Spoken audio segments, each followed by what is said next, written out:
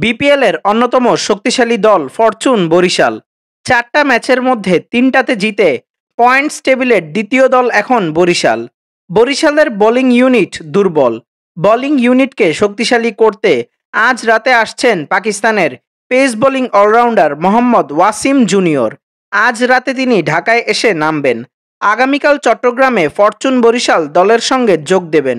Fortune বরিশালের আগামী match উনিশ তারিখ সন্ধ্যায় রংপুর রাইডার্সের বিপক্ষে।